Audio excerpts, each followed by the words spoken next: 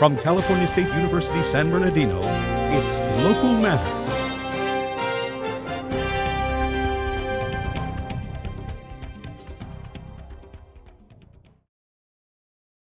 A film festival of video game violence. Hello, I'm Anthony Conley, and welcome to Local Matters, featuring stories from across the Inland Empire. And I'm Alexandria Gales. Smog Dance is a local film festival held annually.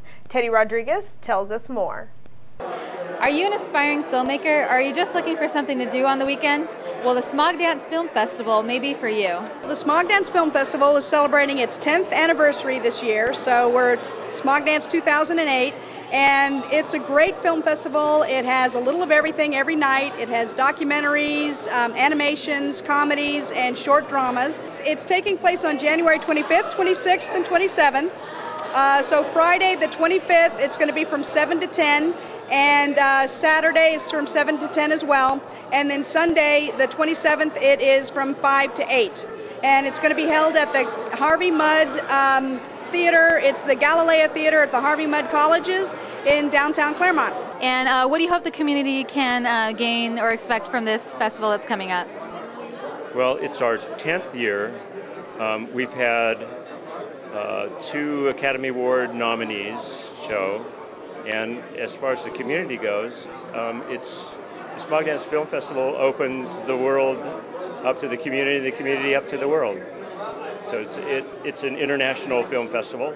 We we've received films from Ackland, we've uh, England, Canada, uh, Mexico. So it, it really does kind of open the world. For more information on this event, visit www.smogdance.com. For Local Matters, I'm Teddie Rodriguez.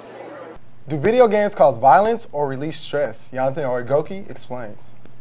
Video games have been the subject of controversy and criticism due to graphic themes. Let's take a look and see what the people feel about these games.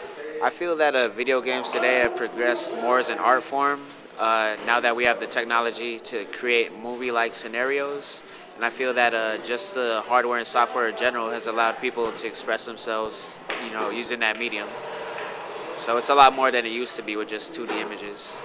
Well, video games uh, today can uh, influence children to go out and do what they see on the video games, such as a game called Grand, Grand Theft Auto. They're jacking cars, killing people, and that can influence a child that's growing up in like poverty to uh, go out, shoot, shoot people, rob, you know, because they don't have the things that kids kids have. Some feel that violent video games desensitizes when others feel that it may relieve stress. It depends on the video game.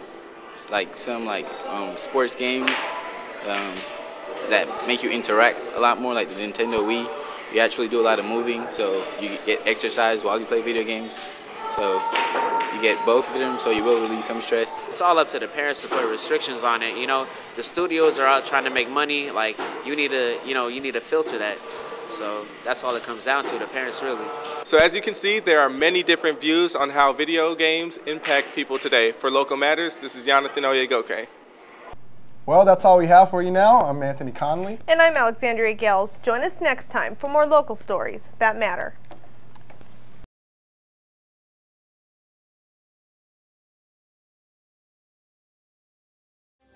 Thank you.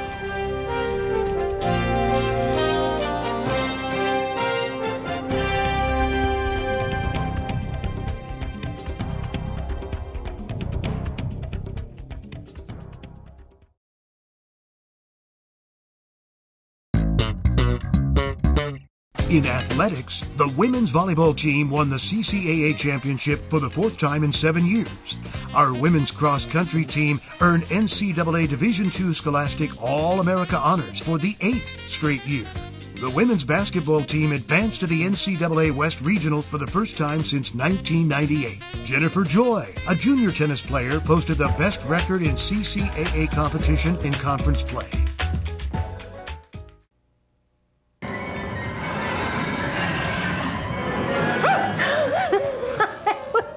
I was just going to tell you I'm going to bed.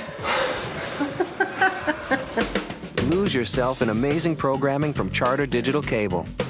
Bring your home to life with Charter Digital Cable. Call 1 877 SAVE 190 today. Built!